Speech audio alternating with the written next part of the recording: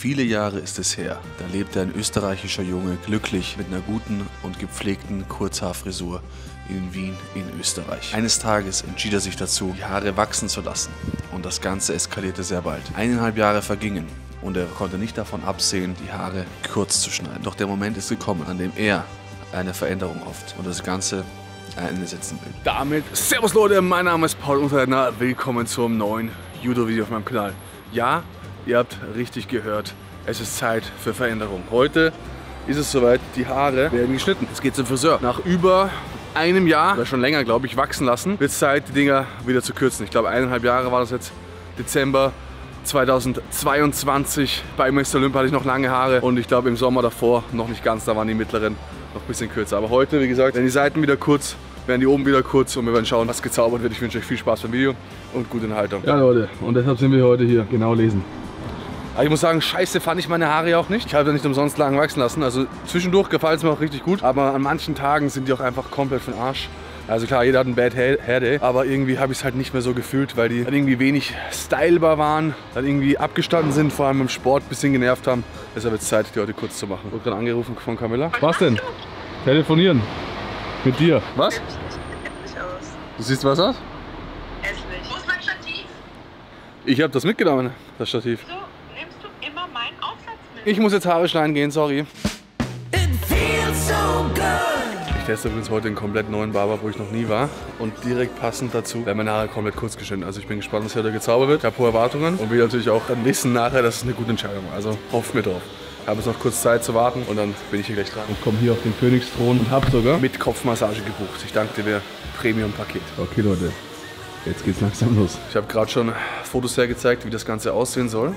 Ich bin gespannt, ob wir es hinkriegen, wie das nachher aussehen wird vor allem. Weil ich jetzt, wie gesagt, fast zwei Jahre keine kurzen Haare mehr getragen habe. Wird jetzt mal Zeit. Und wir legen los. Jetzt gibt's kein Zurück mehr. We are the chosen one. We're the tower they built.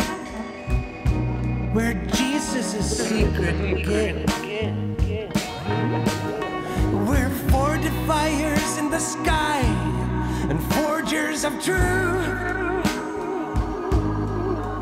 Like a wide awake, sleepwalking tide, coming to bring on the feast. Okay, Leute, die Haare sind ready. Bin auf jeden Fall sehr zufrieden. Ich finde es übel fresh. Habe jetzt einfach mal so einen Seitenscheitel gemacht. Den kann man theoretisch auch mittig legen, aber ich finde, es sieht ziemlich stark aus. Und der Übergang ist wirklich wild geworden. Hier seitlich, Alter. Ich glaube, ich hatte noch nie so einen guten Haarschnitt. Also zumindest barbertechnisch. Das sieht wirklich krank aus. Ich bin zufrieden. Ich weiß nicht, ob William den TÜV genehmigen würde, aber es ist wirklich cool. Sehr, sehr wild. The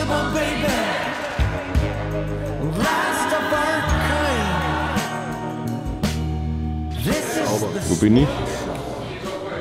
Sehr guten Job gemacht, danke dir. Was absolut kacke ist, dass es draußen regnet und wir unsere Frisur wahrscheinlich gleich zerstören werden. Aber was soll's, wir haben uns erstmal einen Reispudding rein, Pre-Workout-Meal mit Bananenfaden. Was gibt's Besseres? Lecker. Ja. Die gibt's jetzt. Und dann fahren wir direkt ins Gym. Checken mal ab, was Camilla zur Reaktion oder zur Reaktion zu den Haaren sagt. Und nachher werde ich glaube ich auch William anrufen. Mal schauen, was der dann abcheckt. Aber jetzt erstmal, es ist so eine geile Konsistenz, ich schwör's, es ist einfach wie so ein Grießpudding. Oder wie so ein Grießkuchen fast. Das ist wirklich zu geil. Die Frisur muss jetzt halten, den ganzen Tag und die ganze Woche. Man kennt es. Ich hatte es wirklich noch nie, dass die Frisur nach dem Friseur direkt top war, sondern eigentlich immer erst ein paar Tage nach. Ich muss sagen, mein Gesicht wirkt halt jetzt um einiges fetter. Also wenn die Diät voranschreitet, dann wird es doch mal Endlevel clean. Aber gerade habe ich halt noch ein kleines Fettmondgesicht. Den Löffel habe ich gut zerstört. Jetzt zerstören wir unseren Rücken.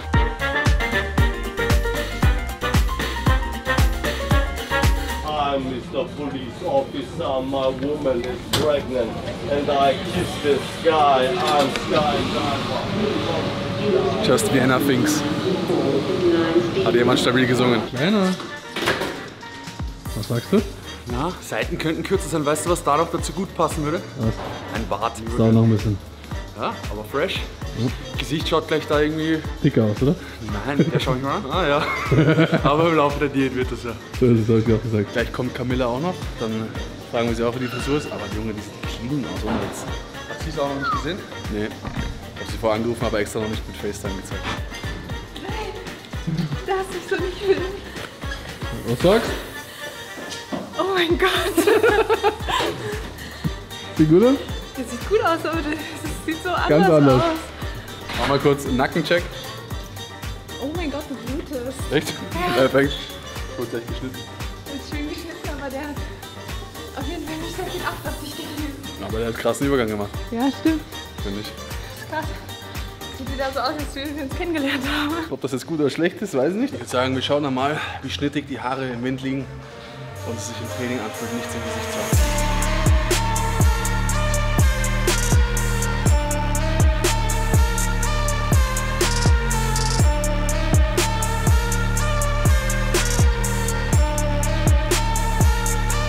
Also ich weiß nicht warum, aber irgendwie 14 Uhr ist im Gym extrem viel los. Also der ganze Kurzhaltebereich ist voll. Keine Ahnung, was das ist. Wir so genau. Freitagnachmittag, ja gut, vielleicht haben alle ein bisschen früher aus, aber was soll's. Wir haben jetzt Bizeps, den pumpen wir auf in Soldatenmanier mit SZ. Zum Schluss am Kabel und zwischendurch dann ähm, Concentrate, nicht Concentration, Preacher Curse, glaube ich. Ballern.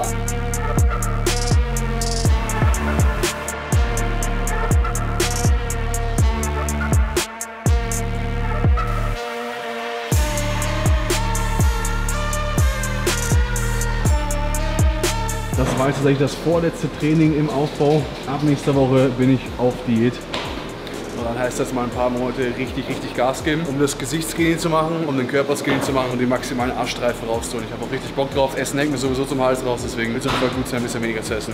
David ist gerade auch auf Diät. Wie läuft's bei dir? Jetzt? Ja. Ja, eh gut. Drei Kilo in zwei Wochen.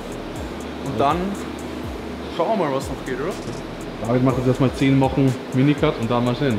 Vorher kein Wettkampf geplant, aber schauen wir mal. Was macht man nicht sonst, wenn man im Restaurant ist? Sein eigenes Essen essen. Wir hauen hier rein. Witziger Unterstützung. Ich geniere mich. Ich geniere Ach was. Muss schmecken. Ich habe mich jetzt nochmal rausgesetzt und werde kurz William anrufen mit der Frisur, nach seiner Meinung fragen und mal schauen, was er dazu sagt. Willi, Zeig dein Gesicht, wie geht's? zeig dein Gesicht. Du musst sagen, ob TÜV frisch ist jetzt. Oh! Alter, siehst du geil aus. Das sieht geil aus. Du siehst richtig cool aus, Mann. Echt. Danke, Bro, danke, danke. Alter, neuer Mensch, direkt schön. Ja, Mann. Ich, ich finde auch, dieses Mal ist richtig gut geworden. Wäre ich vom anderen Ufer, würde ich nicht Nein sagen wollen. Ich freue mich, dass dir gefällt. Ich bin auch sehr zufrieden, muss ich sagen. Also war eine gute Entscheidung. TÜV bestanden, Boy. TÜV bestanden. Das ist das Wichtigste. Boah, Digga, mein Gesicht ist fett, Junge. Also wenn William sagt, der TÜV ist bestanden, dann ist der TÜV auf jeden Fall bestanden. Freue mich, dass es ihm gefällt. Ich hoffe, euch gefällt es natürlich auch. Ich bin auch sehr, sehr zufrieden. Also hätte die Haare schon wieder ein bisschen früher schneiden sollen. Ich glaube jetzt dann zum Diätstart ist ein geiler Zeitpunkt. Und es passt optimal. Wieder zurück zu Hause und so sehe ich irgendwie aus wie ein komplett anderer Mensch. Also ich fühle mich wie mein jüngerer Bruder. Ich sehe aus wie 12 oder 14 oder so, richtig crazy. Und extrem ungewohnt. Aber was soll's. Ist auf jeden Fall witzig. Meine Haare riechen gut. Die wurden heute geil mit Haarprodukten gepflegt. Genauso muss es sein. Jetzt brauche ich aber noch ein paar Proteine. Deshalb hauen wir rein. Und so habe ich hier sogar eine Special-Version bekommen von einem veganen Designer-Protein. Mal schauen, wie das schmeckt. Okay, dann machen wir jetzt mal einen Check. Konsistenz sieht schon mal sehr, sehr smooth aus. Man bewertet das Ganze jetzt dann nämlich immer nach Geruch, Geschmack, Konsistenz und Aussehen. Aussehen ist, würde ich sagen, eine 9 von 10. Sieht aus wie so ein Schokogetränk. Geruch riecht sehr nach Kaffee. Würde ich sagen 8,5 von 10. Geschmack ist auch eine 8 von 10, würde ich sagen. Löslichkeit ist eine 9 von 10. Aber geschmacklich ist es jetzt keine Heile. Das könnte ein bisschen geschmackssensibler sein. Man schmeckt noch das Wasser raus. Man schmeckt auf jeden Fall Kaffee, aber es ist nicht ein Protein, wo ich sage, okay, das haut mich, haut mich um. Die Konsistenz ist ganz gut, aber auch nicht perfekt, deswegen ja 9. Vielleicht sogar eine 8,5. Also da gibt es auf jeden Fall noch ein bisschen Verbesserungsbedarf. Etwas süßer, etwas stärker. Was auf jeden Fall sehr nice ist, ist der vegane Designer Proteinpudding. Habe ich gestern zum ersten Mal auf Instagram getestet und der hat mir extrem gut gefallen. Das Geile ist, der hat richtig starke Nährwerte. Auf 100 Gramm 4 Gramm Fett, 25 Gramm Kohlenhydrate, 50 Gramm Eiweiß. Also eigentlich wie Mein Sojagranat, was ich jeden Tag esse. Und als Shakersatz ist es theoretisch ziemlich geil. Eine Portion mit 20 Gramm Eiweiß kostet euch ca. 1,30. Wenn man es mit äh, Milch macht, hat man natürlich nochmal ein bisschen mehr Eiweiß. Also kostet ähnlich viel wie die Supermarktversion, zumindest hier in Österreich. Vegan gibt es das Ganze ja sowieso schon gar nicht als Proteinpudding. Ich glaube nur von Alpro. Und ich glaube, da, der ist auf jeden Fall teurer, ich bin mir nicht sicher. Und wenn er nicht teurer ist, hat er auf jeden Fall um einiges mehr Zucker und um einiges mehr Fett. Und gerade noch, noch die 20% auf Protein und Foods bei sind, das heißt auf den Proteinpudding, auf Proteinpulver, auf Maispudding, Reispudding, der jetzt wieder restockt wurde, den ich extrem feiere, gibt es 20% mit dem Code Paul. Auch auf die Erdnussbutter, auf die Cashewbutter und viele weitere Produkte. Auf jeden Fall im Shop vorbeischauen, auch auf die Riegel. Und dann ähm, könnt ihr einiges sparen.